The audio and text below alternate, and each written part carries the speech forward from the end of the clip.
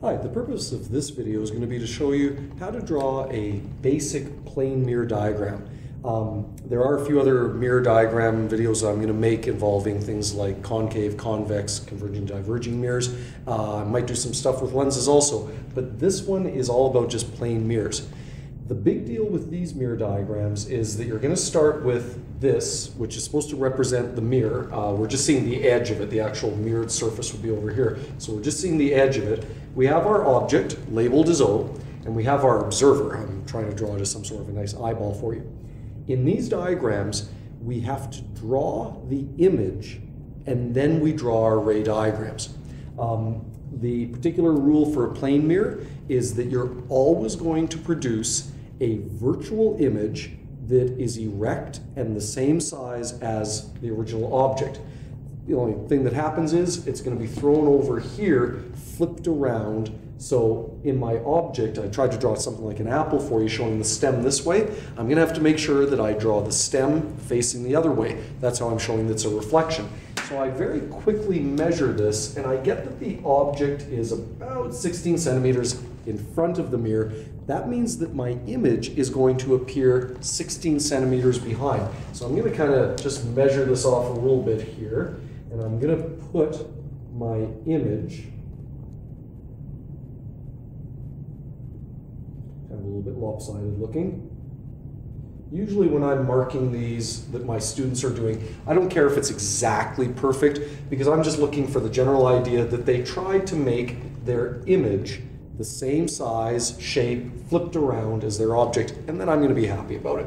Also notice that when I drew my image, because it's a virtual image, I drew it as a dotted line. Stuff that appears behind the mirror isn't actually there, so all that stuff has to be dotted. And I was also careful to label it I for image.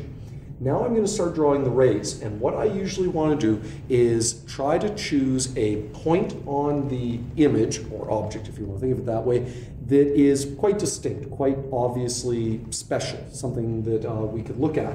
So I'm going to choose the tip of the stem near the top. Later on I'll draw a second ray diagram because most of the time when you're drawing a ray diagram, the rule is you draw two separate rays. That way you get an idea of how things are converging on the observer's eye, uh, showing them that sense of depth of something looking like it's behind the mirror. So I'm going to first draw a ray that comes along from my eye towards that part of the image. And when I get behind the mirror, I have to draw my ray as a dotted line. Now I'm going to show that the direction that ray is traveling is towards my eye. And it gives the appearance as though a ray of light has traveled in a straight line right to my eye from that image. But I know that there's truly nothing back there, and that really the light came from the same spot on the object. By drawing this part of the ray first, though, I now know the point on the mirror where the ray of light has to hit to be able to bounce off. A common error that I see students make is they try to draw a ray straight across like this from the object to the image and then it bounces up. You have to remember if a ray actually went from the object straight across, hit the mirror perpendicular to its surface, kind of like along the normal line, it would bounce straight back the way it came. It wouldn't be going up to the person's eye. So what instead I'm looking at is how this ray came from the object up to that point on the mirror.